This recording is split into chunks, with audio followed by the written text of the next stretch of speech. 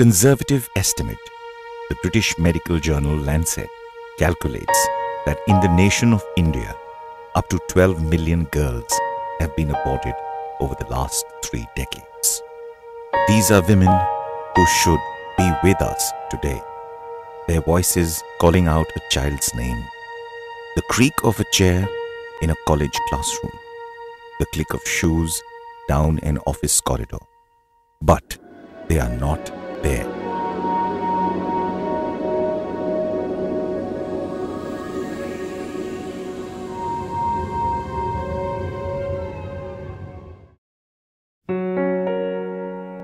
Contrary to general perception, it is not the poor and illiterate who are primarily responsible for killing unborn girls.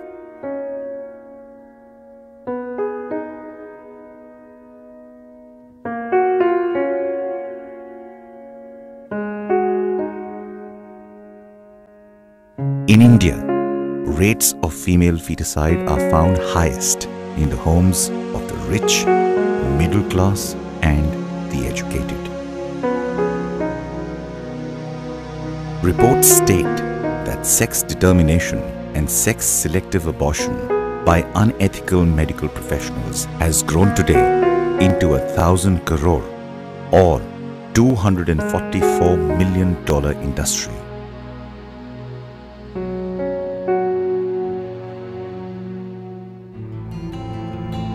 Discreetly hidden act, the consequences of female feticide are, however, increasingly and alarmingly becoming visible.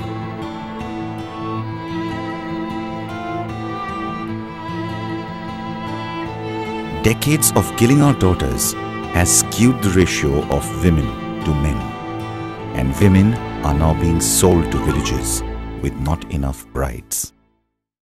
The Indian woman, at the same time deified and devalued, is grievously injured, a mortal blow to her head.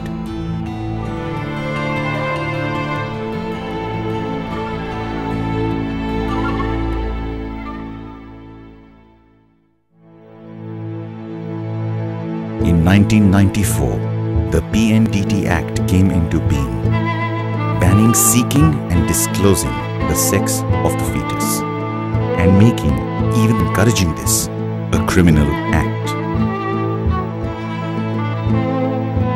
Since then, 55 convictions have been made.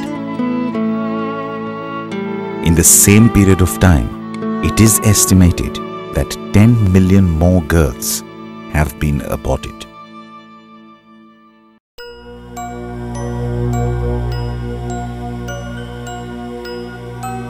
What in the world is happening?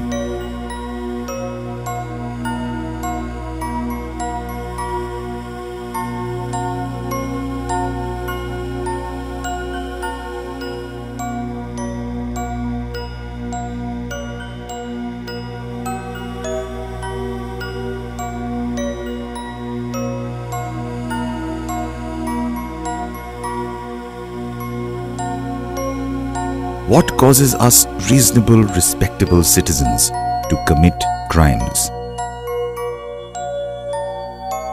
Crimes against humanity as we go about our day to day lives.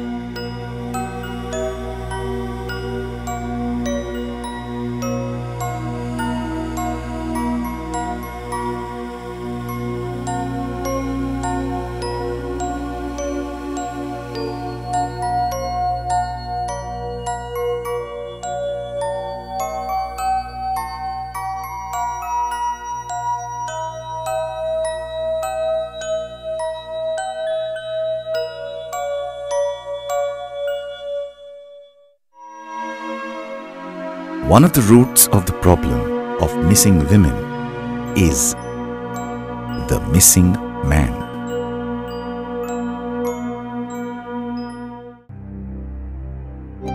Son preference has bred spoiled sons.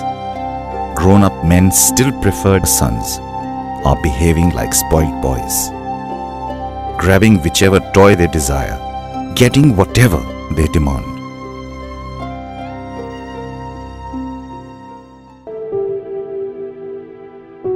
What does it mean to truly be a man? What does it mean to truly be strong, not for the purposes of exploiting, oppressing, but strong for different reasons, for the purposes of protecting, respecting, serving, and cherishing.